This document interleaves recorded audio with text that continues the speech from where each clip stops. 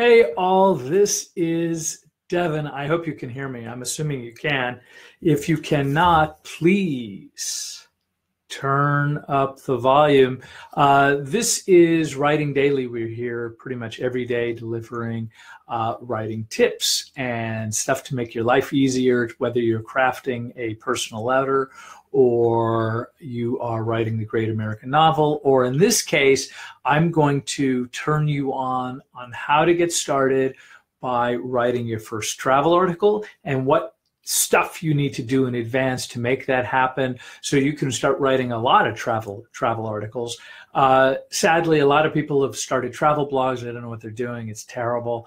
Uh, i have been doing this for a very very long time. Uh, in the i am the editor-in-chief of in the know traveler. We've now been around for almost 14 years on the internet which for most people is like forever. Uh, so i'm doing that. I'm also i have an mfa in creative writing I've written for numerous travel uh, uh, magazines and outlets, um, have traveled to 85 countries around the world, and I teach people how to do this. So, anyway, long story short, I am here to uh, to turn you on to the world of travel writing, and I'm going to teach you the easiest way to do it, where you don't have to worry really about too much. And I think we can probably do this in under 10 minutes. We are going to see, but real briefly um, as I said before, I've been, you know, I was the editor in chief for uh, of of In the Know Traveler for the last 14 years, uh, but I was writing for a couple of years before that, before In the Know Traveler ever really came to be, uh, and uh, again, it's allowed me to see the world. So some of the things I'm going to be talking about are going to be very, very specific to travel writing and how you do that, but I want you to kind of consider the possibilities that if you want to do some additional writing that's not necessarily travel related, uh, hopefully you can kind of use a little bit of imagination uh, to allow that to flourish in other directions as well.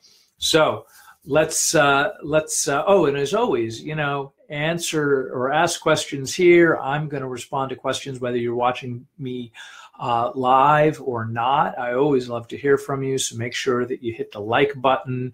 Uh, if there is one, follow me on Twitter, all that kind of fun stuff. Uh, so you can always find me to get some great advice on traveling as well as writing. So anyway, so this is uh, I I would have written these more neatly under normal circumstances, but I was running late, as you can tell. I'm unshaven. The first one is how to write your very first article. So a lot of people don't know where to start, and I'm going to make it so easy for you. It's going to be crazy. It's um, yeah, this is we're having technical difficulties this morning. Uh, so the first thing I'm going to suggest that you do is contact your local tourism office almost certainly unless you live in a tiny tiny you know town that has no attractions uh, and has no wineries and they have nothing to do and it's sort of like a tiny it's like the town is just you and a farming community most places have some sort of a tourism board and if they don't have one directly in your specific like every major city will have one and most minor cities will have them even a lot of smaller communities will have them. Somebody who's promoting the neighborhood, promoting the area to bring people in to spend money. And it is huge business. It's not little business. It is huge, huge, huge business. I just, uh, as many of you know, I went to a travel show um, about 10 days ago and I mean, they had hundreds of booths that were from all kinds of destinations, large and small, some representing the entire country, some representing just a tiny town that had some particular thing uh, of note, of interest that they were encouraging people to come visit. Sometimes it's just even a stretch of road. So that all said, wherever it is that you live in the world, there's probably a tourism board that is either directly in your town or probably somewhere nearby. So keep that in mind. So again, you can check out with your local tourism board. That's I would certainly start there. If you don't have a local tourism board, I would actually suggest that you go to a local hotel, especially if you have like a brand name, whether it be Holiday Inn or the Four Seasons or some fantastic resort, uh, you know, so you can start there. If you don't have either a tourism board or a hotel, you may want to try a local attraction. Uh, the local attraction, probably the, some of the best known ones, are maybe the Golden Gate Bridge or the Grand Canyon. Uh, things that people go to see and have an experience with uh, even if it's driving across the bridge. There's somebody who's representing that attraction somewhere. It may be a PR firm, it may be, again, part of the local tourism board, it may be just some person, but whatever it is, these are the kinds of people that you are going to want to uh, connect with in some way. So what you want to do is, I mean, quite literally, you could just do a search on this, like, you know, contact tourism board and name your city, state, or country. Uh, contact local uh, hotels in your city, state, country, right? And that's where you start. And then what you're going to do is you are going to contact them and you say, hey, listen, I love my city where I'm living. Because you have to remember that even though your your town, your city is sort of like old hat to you, and when you think of travel, you're probably thinking, well, I, if I don't go to Paris, then I'm not traveling, or if I'm not going to this other place, I'm not traveling. But that's actually not true because what ends up happening is somebody from Los Angeles is going to be driving to Ventura this weekend. Probably a lot of people. So there, so so Ventura to somebody from Ventura may not be all that thrilling, but there's people traveling to Ventura like right now who are just going there for the day to see what's going on there and have their experience. So this is true all around the world. So even though it may not be interesting to you, it's going to be interesting to somebody. Like even if you are in the middle of nowhere and the only thing you've got in town is like the world's largest ball of twine, then great. Then start with the world's largest ball of twine because there's somebody who is into yarn or knitting and they're going to want to know all about your ball of, of, of yarn or, or twine. So that's where you start. It's a, it's an easy thing to do. So then what you're going to do is when you contact them, you are going to find out what they need. Uh, and it could be anything. Hey, I'm, you know, this is my home. I love it here. Um, I wanted to start, you know, I want to test myself and I want to write a couple travel articles. Is there anything that I can help you with? What would you like me to do? Don't ask for anything.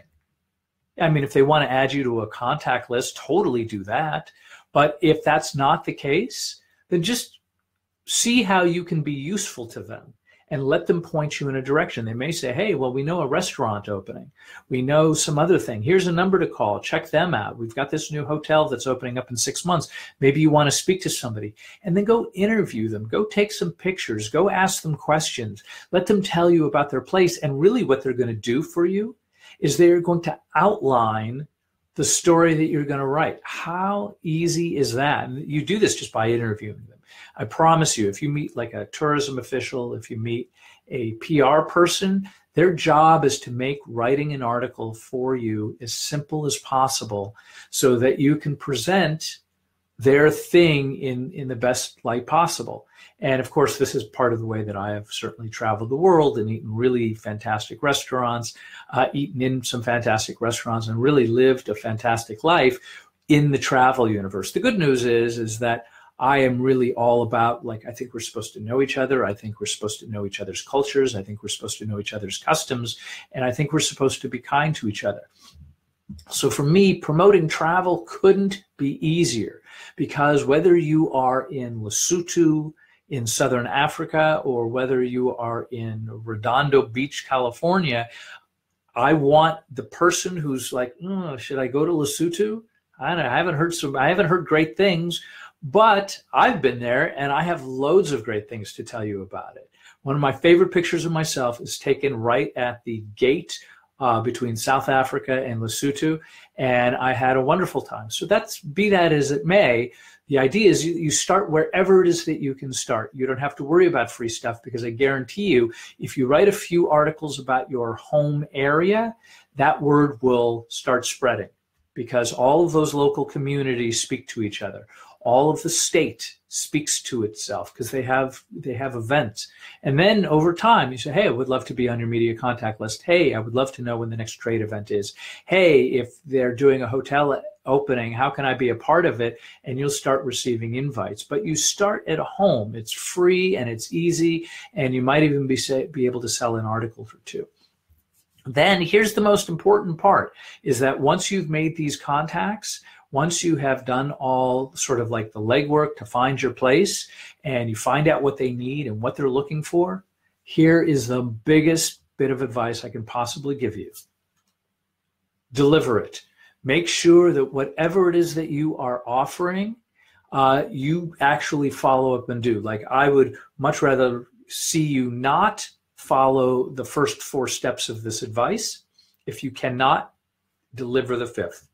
This is the most important thing that you can possibly do. And this is probably true of any kind of writing where you're going to be pro- promising something. In other words, if you're promising a manuscript, then you have to deliver upon it because world word will spread quickly. Nobody has the time to sort of mess around with it. So whatever you're going to be writing, you're absolutely going to want out to go and deliver it. And by the way, thank you so much for for liking my my things. So uh, what we're doing right now is we're just going over quickly uh, some of the quick things that you can do to get started in travel writing. So that means contact your local tourism board. It means if they don't work, contact your local hotel. Brand names are probably the best because they have the biggest marketing departments. Start with, if that doesn't work, local attractions. This can include restaurants. Certainly, uh, hip and trendy ones also have marketing departments, so this is probably a great way to go as well. Find out what they need and then deliver it. And as always, if you like what we're doing, hit sort of the like button, the wow button, follow me on Twitter, subscribe to me on YouTube. All this is going all over the place. So I'm looking forward to hearing from you. Um, and uh, as always, we're going to do something else tomorrow. I think we're going to talk about writing prompts tomorrow, which uh, will be fun and uh, I think informative and hopefully get you started to keep writing. So remember, we are writing daily. I am Devin Galaudet, and I hope to see you guys really soon.